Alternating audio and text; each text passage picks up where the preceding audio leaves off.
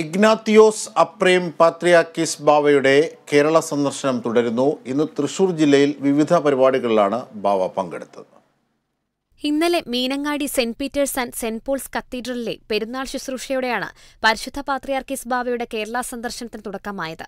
തുടർന്ന് കോഴിക്കോട് ഭദ്രാസന ആസ്ഥാനമായ താമരശ്ശേരി മൗണ്ട് ഹോറേബ് അരമനയിൽ പരിശുദ്ധ ബാവായ്ക്ക് സ്വീകരണം നൽകി. വേളംകോട് സെന്റ് മേരീസ് യാക്കോബായ സുറിയാനി സൂനോറോ പള്ളി അദ്ദേഹം സന്ദർശിച്ചു. പള്ളിയുടെ ഡയമണ്ട് ജൂബിലിയുടെ ഉദ്ഘാടനവും നിർവഹിച്ചു. ഇന്ന് Thrissur Pengamukku Saint Peter's and Saint Paul's Yakobaya Suriyani പഴയ പള്ളിയിൽ വൻ സ്വീകരണം നൽകി.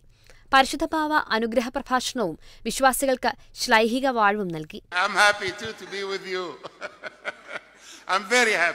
And I thank God for giving us this opportunity to be in this beloved church. For the first time, probably I'm the first patriarch too to come and visit here. Wow, what a great blessing for me to be in a church like this.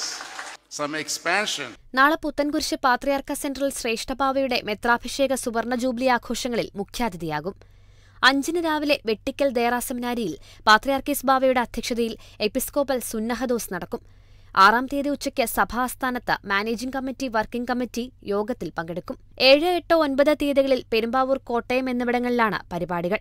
പത്തിന് മഞ്ഞനിക്കര ദേറായിലെ കുർബാനയ്ക്ക് ശേഷം തിരുവനന്തപുരത്തേക്ക് പോകും. അവിടെ നിന്നും അന്ന് തന്നെ ബെയ്റൂട്ടിലേക്ക് മടങ്ങും. News desk Kerala Vision news.